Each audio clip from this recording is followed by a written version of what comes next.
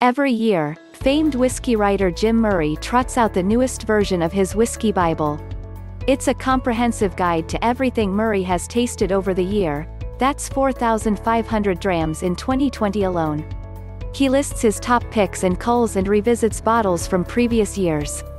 One of the most anticipated and hotly debated parts of the book's annual release is Murray's top bottles of the year, and ultimately, his unveiling of the World Whisky of the Year.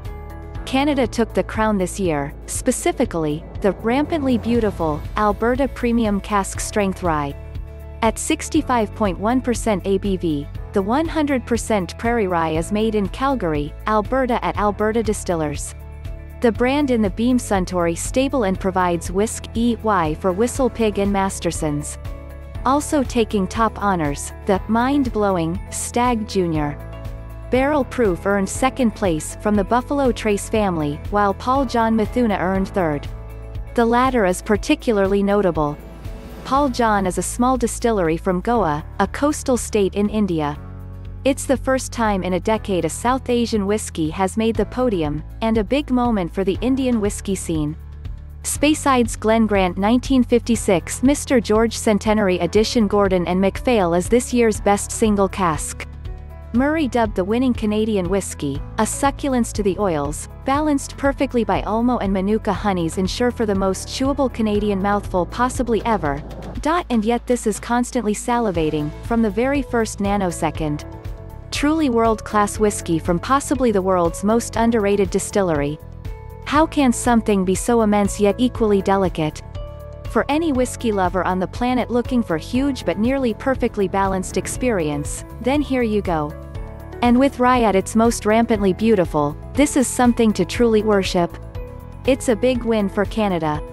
Back in 2015, Crown Royal's Northern Harvest earned the title of World Whisky of the Year. The announcement that left Scots reeling, balled the Telegraph, though for good reason, over the last decade, Scotch has been noticeably absent from Murray's list.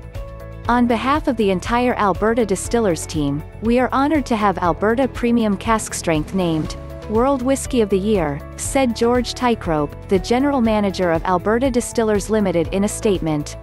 We are incredibly proud of our Alberta Distillers team for creating such a unique and beautiful world-class whiskey, and continually pushing the boundaries of what Canadian whiskey can be. Canadian whiskey often has the reputation of being bottom shelf swill, relegated cheap pours at bars. I can say this, I'm Canadian. But the category is an incredibly diverse. Canadian whiskies don't need to meet mash bill or age statement requirements, which gives distillers the opportunity to use the liquid as a blank canvas. What results is a category filled with breezy low-budget rye, but also creative cask finishes and stellar small batch projects.